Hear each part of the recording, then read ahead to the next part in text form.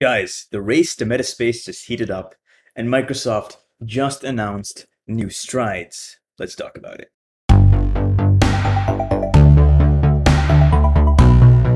If you've worked remotely during the pandemic, chances are you've used Microsoft Teams. You know, the video conferencing tool that makes your laptop feel like it's a jet engine that's about to take off. Well, now it's taking off into orbit. Microsoft is bringing Mesh to Teams. At first glance, this does seem a bit uh, dystopian, but overall, this is going to be a win for the metaverse. Huge loss for vitamin D production, unfortunately. And speaking of vitamin D, why don't you leave me a little vitamin S by clicking that subscribe button and leaving a like if you enjoy my content. Microsoft's strides in the metaverse space are very different from the way Facebook, I'm sorry, Meta is going about it. But I'll get to that in a minute.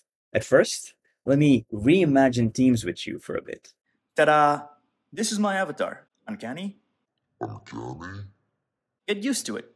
Look, the reality is Microsoft might see adoption of the metaverse quicker than Facebook will. Cannot stress enough how often participants in a video call like to have their cameras off during a meeting. Lack of facial cues on somebody who has their video off during a meeting can feel a little impersonal. If Teams can offer a way for you to present your facial expressions without having to do your hair, trim your beard, or put on a shirt, that is as low effort as it gets. Between choosing no video and a virtual avatar, folks are going to be choosing a virtual avatar. And that will be the gateway choice that loops them into the rest of Microsoft's metaverse. But Microsoft plans to include more dimensions in these meetings than just facial cues and voice. Gestures are coming to a collaborative space near you. You can holoport into a collaborative space move to different locations in a room using hand gestures, and conjure up objects from thin air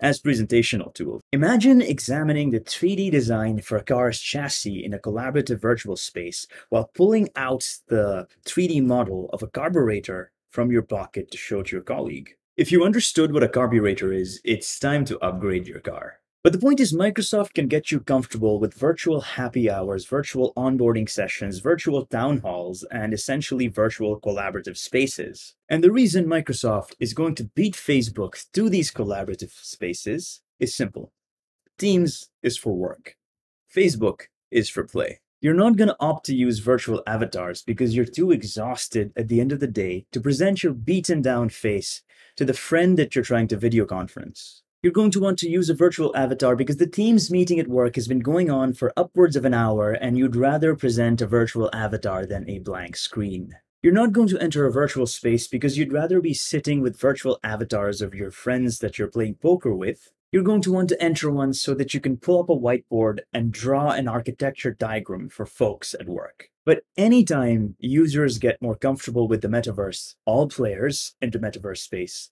win when folks get used to the 9 to 5 work metaverse, they're going to eventually flock to the after work hours social metaverse. I will say this though Facebook's play for the metaverse has one ace in the hole, and that is a marketplace for NFTs. In Facebook's metaverse, you'll get to decorate yourself and the social spaces you visit, be it your living space or a friend's living space, with NFT backed digital goods. And this will underpin an acceleration for an already booming digital content creation economy. Would you work in the metaverse? What are you most excited about? Or is this too dystopian? Let me know in the comments section. Until then, stay real. I will see you next time. Peace.